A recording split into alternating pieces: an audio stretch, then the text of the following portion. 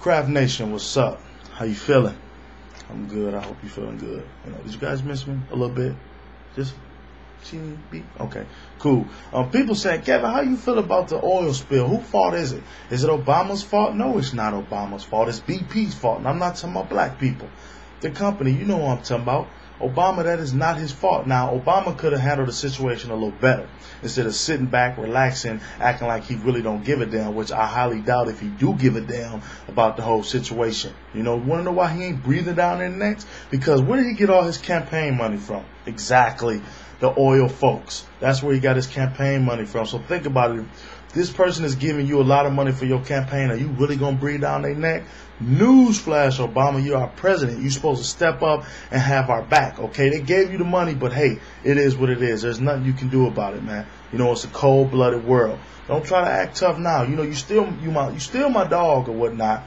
But real is real, and I see the fact that you've been sitting there relaxing, having a good time, and not really taking this stuff serious. Now, what's getting under my skin is how people comparing this shit to Hurricane Katrina. Now, that is not where it's at. Okay, you cannot do that at all because during this situation, Obama is not at Camp David water skiing like Bush was when you had a bunch of old and young folks underwater swimming with alligator sharks or whatever you have it in that you know whole Katrina situation a lot of people die.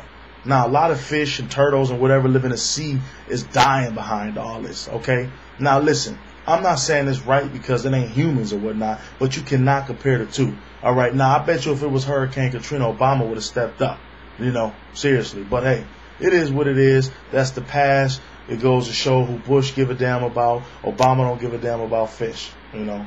That's what people saying. But in the reality of it is, a lot of those fish is drinking and inhaling all that water, you know, that damaged water. And, you know, people like us are eating it. And we can get sick behind all that. Obama Obama's a lot of people worried about the situation. It's thousands and thousands of gallons of oil getting spilt in the ocean on a daily basis. So you need to put your foot in BP's ass and make them get this right. Seriously.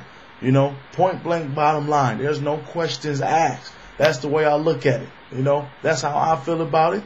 You can't change my mind about the situation. And if you think you want to try to change my mind, send me a video response. Leave a comment in the description box telling me how you feel about it. You know, I know I got Republicans who watch me, you know, who like me. Probably not that many, but hey, you know, I don't look at Republicans and, you know, Democrats. I don't look at black and white. First of all, I think we're all the same color. We just got different credit scores. I look at straight people. You know what I'm saying? If you're a human being, I don't care your political views, your skin color, none of that. And you keep it real, you got an open mind, you all good in my book. So I want to know how you guys personally feel about the situation. You know, I just think Obama just been sitting on his ass a little too much because he was getting money from them folks or whatnot. And I just really don't want uh, people steady co- comparing this to Katrina because a lot of people lost their lives behind this. How many people died from this oil spill? You know, how many people died from Katrina? Weigh it out.